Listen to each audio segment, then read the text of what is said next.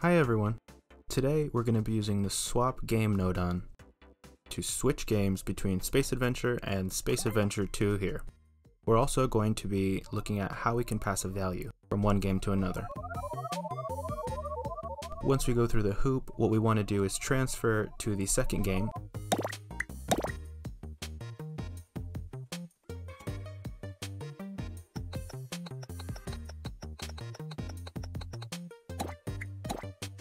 We'll start in the first game that you want to move on from. Add the swap game nodon.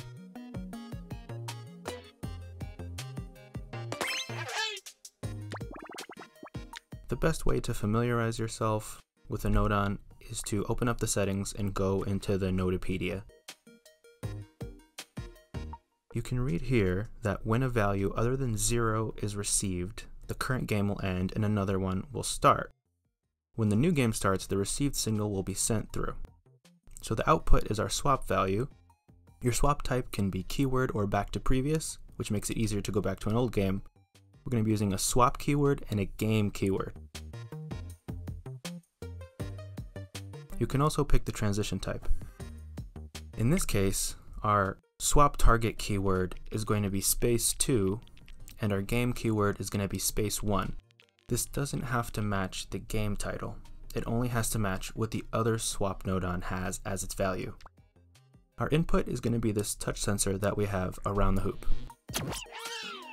We've done the first half, now we need to go into the second game.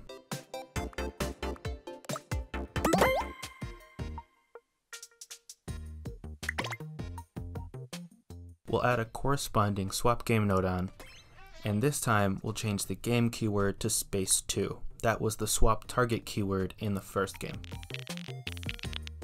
It's actually as easy as that. They're now connected. The way that the swap game nodon works is it searches the games in your downloaded list for these keywords. So if you're playing a game that you downloaded online, make sure to download all of the games in the series so that your swap game nodon works properly. Now when we fly through the hoop, we'll seamlessly transition to Space Adventure 2. The problem is, we didn't pass through our score, and we want to keep track of that between games.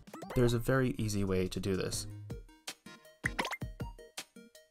The value that the swap game nodon gets into its input is the value that it passes over. The value of our touch sensor will be 1 when we touch it, so we simply want to multiply it by whatever value we want to transfer. In this case, we have a counter nodon that's holding the score. We would multiply them together and put them into the swap game nodon. You have to do a little bit of work in the second game also. You'll drag the swap nodon output into whatever logic you have in game 2 to hold your score or score values. In this case, we're using a number object. We're starting in game 1 with score 13.